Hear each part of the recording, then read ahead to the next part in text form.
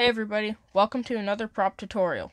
In this video, I'm going to show you how to make this ashen chest from Sea of Thieves. We're going to start off by making a rectangular box out of cardboard. You're going to need to cut out three sets of identical cardboard rectangles.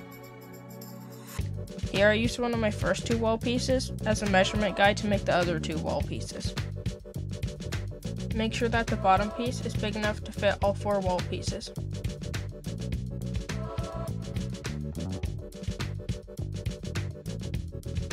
Once you have all your pieces cut out, we're going to use hot glue to attach them together. Be patient with this step and make sure to line up all your pieces properly. If you find that one of your pieces isn't the right size, you can trim it down or make a new one.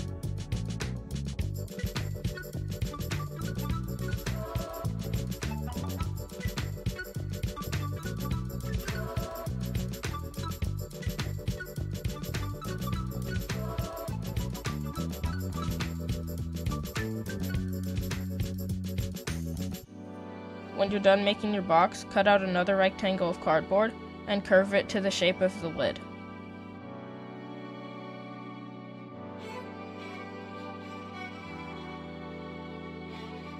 Next, measure and cut out some angled pieces and glue them onto the side of the lid.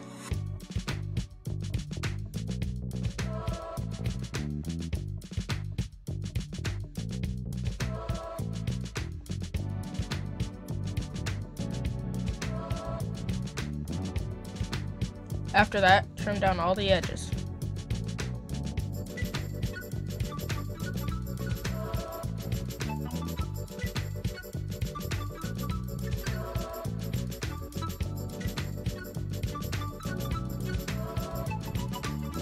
Now, I'm just cutting out craft foam pieces for each of the sides.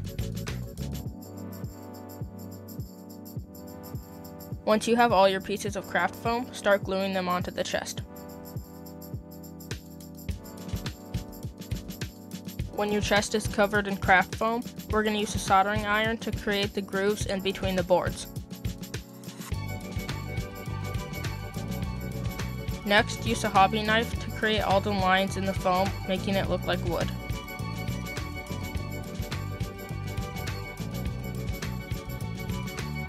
After that, we're going to use a heat gun to go over the whole chest. This is going to open up all the lines we made with the hobby knife, making it look more like wood. Make sure not to do this too long in one area or it might melt the hot glue underneath the craft foam. Next, cut out a long piece of craft foam to glue on the edge of the chest.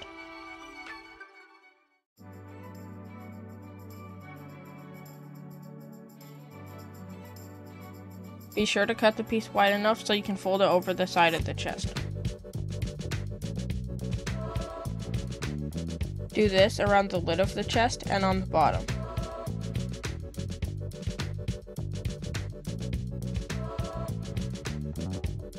When you're finished with that step, it should look something like this. I also cut out handles and a lock for the chest. For the bottom, glue on a piece bigger than you need and trim off the excess. When you're done with that, coat the whole chest in Mod Podge. This is going to seal it in and make it look smoother all over. It's also going to make it easier to paint on. When the Mod Podge is dry, paint on a brownish gray color.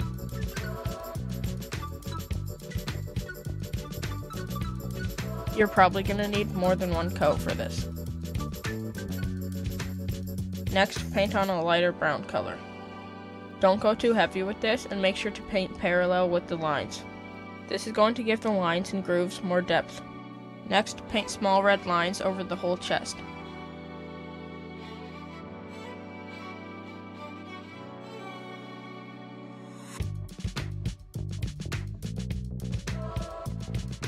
After that, go over the center of those lines with orange paint.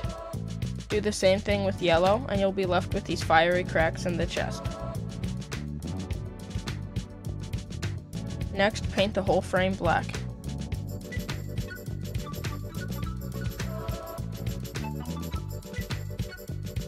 Next, use a metallic purple color and lightly paint that over the whole frame.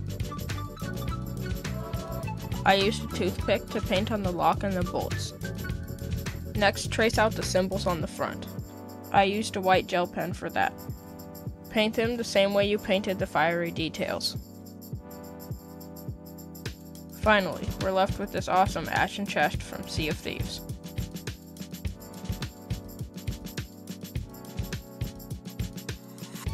Thanks for watching. I hope you made your own, or this inspired you to make something else. I'll see you later.